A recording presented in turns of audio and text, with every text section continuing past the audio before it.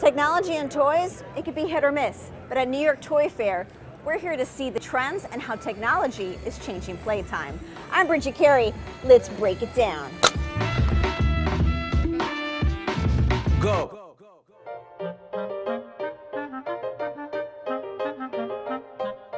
There's nothing quite like Toy Fair. More than a thousand toy companies from around the world come to the Javits Convention Center in New York City, flaunting the latest figurines and fluff that they hope the kiddos will beg their parents to buy.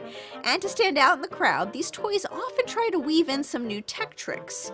This is my seventh year covering Toy Fair and my second while pregnant. So you could say that I'm hungry to find a tech toy that will really enrich a child's playtime and imagination. Let's flash back to 2012. Back then, companies were trying to turn an iPhone or iPad into a toy. Just add an app or attach a tablet.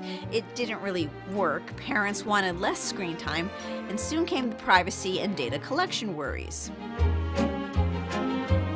Because when you have to blend the digital and physical, you gotta find the right balance.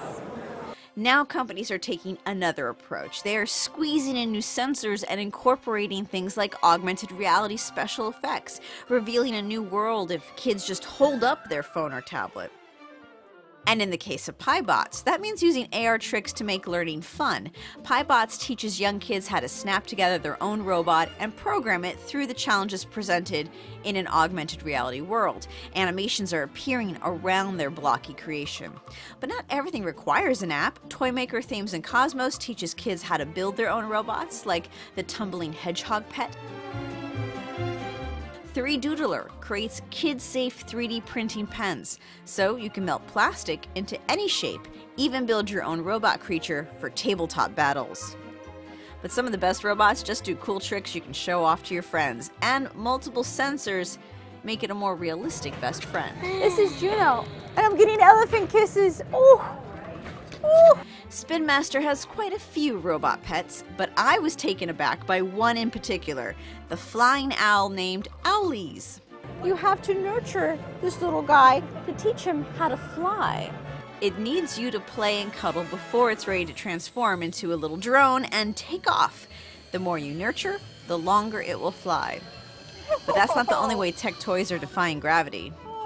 Why race on the ground when you can race on a wall? Air Hogs zero gravity laser uses air suction to drive on walls or even go upside down. It follows the path of the laser gun. Sometimes the tech of the past comes back in new ways. Speak and Spell is back, along with several retro toys and games. Even Etch a Sketch got a new twist. You can doodle in color, but you still gotta shake to erase.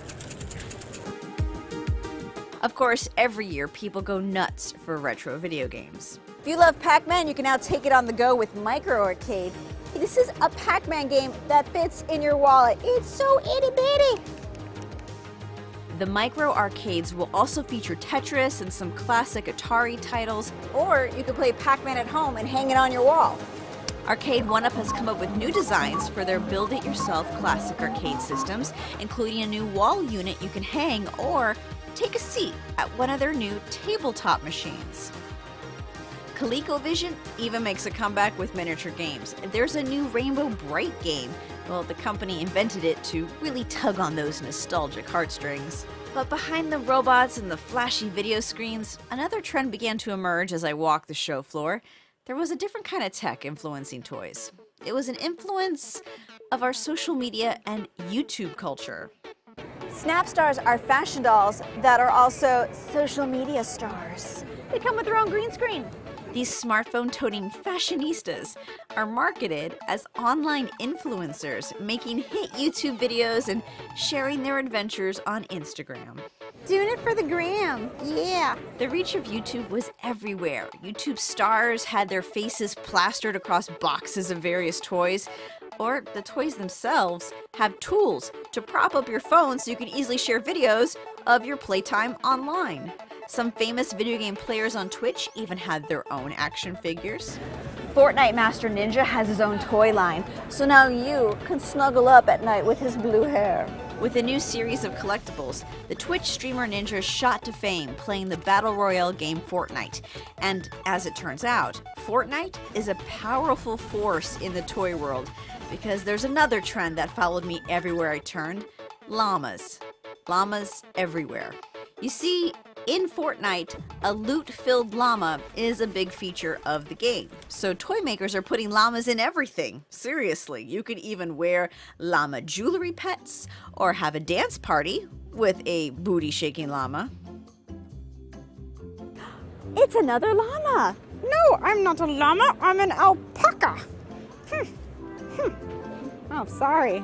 Llama tell ya, the influence of online gamer culture is nothing to spit at.